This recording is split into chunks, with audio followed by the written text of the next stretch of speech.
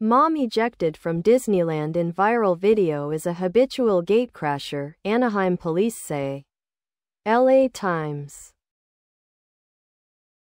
A mother of three and four-year-old girls seen on social media video being ejected from Disneyland had ref. Used to pay for tickets for her daughters, police said. Below are your comments.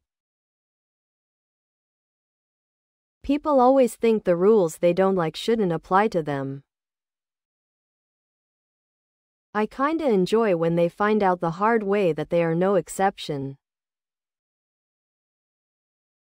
It's also another reminder that a 60 second video making the rounds on social media is just a snaps. OT in time in most situations have a lot more backgrow. See more. Yes, Disneyland is an expensive place to visit but I knew that before taking my children there to. Experience it. Nothing is free in this world so plan accordingly and follow the rules.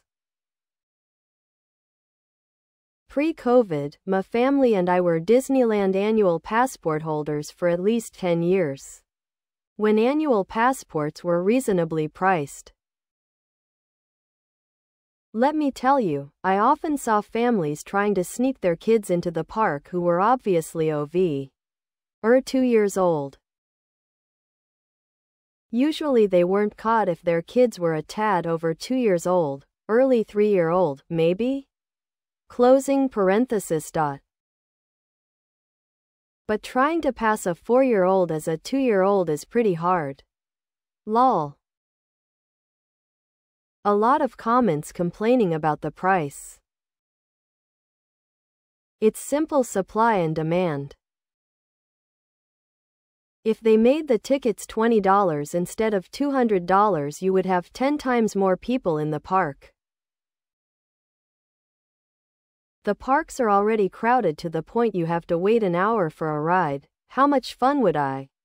TB to wait 10 hours?